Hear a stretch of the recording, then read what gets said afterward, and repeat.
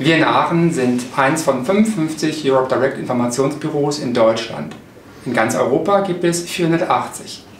Die Aufgaben eines Europe Direct Centers sind, äh, eine Schnittstelle zu bilden zwischen den Bürgern und der EU auf lokaler Ebene. Wir haben hier ein Büro, sehr zentral in Aachen und dort können äh, zu den Öffnungszeiten die Bürgerinnen und Bürger kommen und Fragen stellen. Wir helfen dann bei der äh, Recherche nach europäischen Themen, das sind dann zum Beispiel Verbraucherfragen oder Politikfragen oder Fragen nach Informationsmaterial.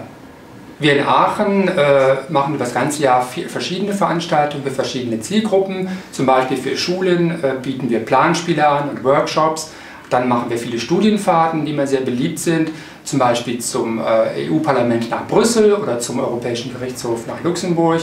Und wir machen auch äh, viele Veranstaltungen, wie zum Beispiel zum NRW-Europatag, Diskussionen über Europapolitik und so weiter.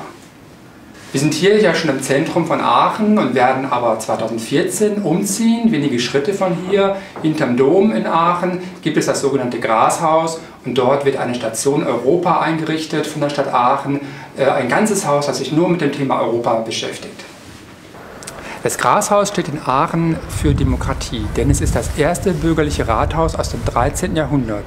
Wenn wir jetzt im Jahr 2014 dort die Station Europa und das Europe Direct Büro einrichten, haben wir eine Kontinuität, denn dort wollen wir uns dann mit der Demokratie beschäftigen, heutzutage nicht nur in Deutschland, sondern in ganz Europa. Wie arbeiten wir in Europa zusammen?